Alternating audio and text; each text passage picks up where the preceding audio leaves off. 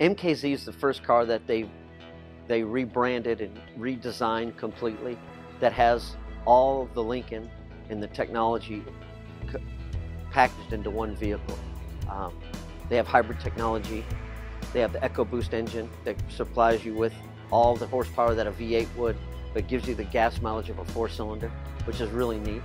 Uh, some of the options that are available just blow your mind. The nav with the sync system, the full-featured sunroof that goes, the whole roof opens and closes.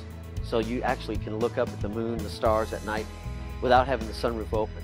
You know, um, the wheels, the sportiness of the car, inside and out, it just kind of fits like a real fine glove. You know, and Lincoln is a little bit, a little bit behind in the times. You know, behind BMW, Mercedes, Acura, but right now they're going to build a product that will compete and surpass them in performance, in pricing, in maintenance.